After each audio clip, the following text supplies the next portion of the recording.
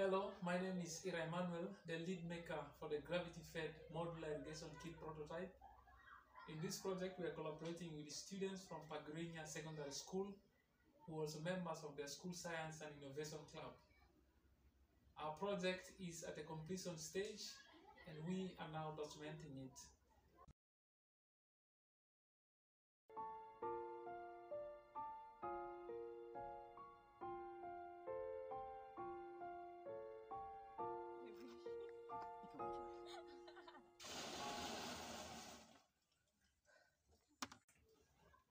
Critical making is about making things that are aimed at solving um, challenges of the community.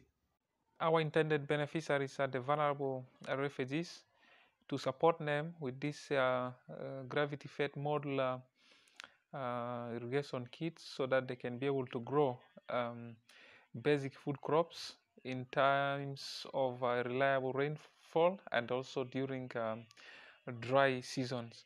This will help them to improve on their nutrition, the overall uh, well-being. So in a sense that our making is uh, a small contribution towards the sustainable development goals of uh, UN.